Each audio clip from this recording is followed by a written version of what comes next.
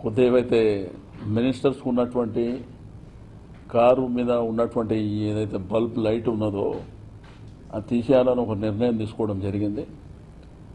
May first తారీఖు లోపల ఇది ఇంప్లిమెంట్ చేయమని చెప్పి చెప్పడం జరిగింది.